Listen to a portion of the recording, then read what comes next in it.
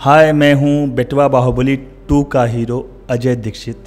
आज का जो टॉपिक है, जिस पर हम बात कर रहे हैं वैलेंटाइन डे इसकी मीनिंग से हर कोई वाकिफ़ है। वैलेंटाइन डे का पर्यायवाची क्या है? लव प्यार, मोहब्बत।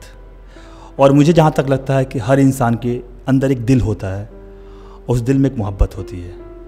हर एक इंसान किसी न किसी से मोहब्बत करता है, प्यार करता है लव करता है।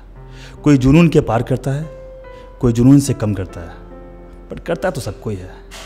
हाँ बट ये बात ये भी सच है कि जो पहला प्यार होता है, पहला सच्चा लव होता है, उसे भुलाया नहीं जाता। लेकिन दोस्तों, आप सोचते होंगे कि मैंने प्यार किया होगा।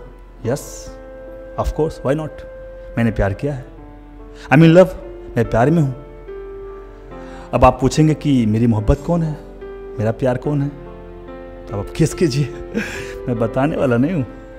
मेरी मोहब्बत है, मेरा प्यार है, जो कि सलवार सूट पहनती है, साड़ी पहनती है, लाल साड़ी पहनती है वाइट साड़ी पहनती है ब्लू साड़ी पहनती है, मुझे जो कलर पसंद है वो सब पहनती है। मैं उसके साथ वैलेंटाइन डे पे उसे ट्रीट दूँगा टाइम स्पेंड करूँगा।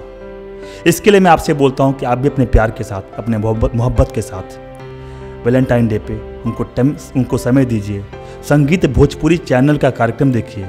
उसके साथ आप उनका टाइम उनको स्पेंड कीजिए उनको समय दीजिए। और बहुत सारा प्यार कीजिए।